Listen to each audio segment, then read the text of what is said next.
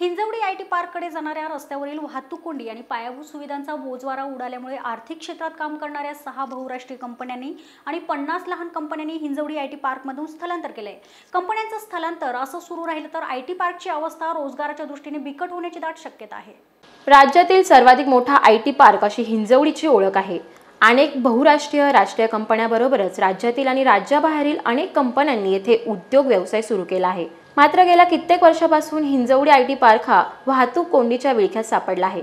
वाहतूक कोंडी आणि पायाभूत सुविधांचा अभाव हा येथील कंपन्यांपुढील कळीचा मुद्दा ठरला आहे. हिंजवडी नकोरे बाबा वाहतुकीच्या अनावस्थेमुळे या कंपन्यांना उत्तम बौद्धिक क्षमता असलेल्या कर्मचाऱ्यांनाही गमवावे लागले आहेत. तसे अभिप्राय कंपन्यांकडून सातत्याने देण्यात आले आहेत.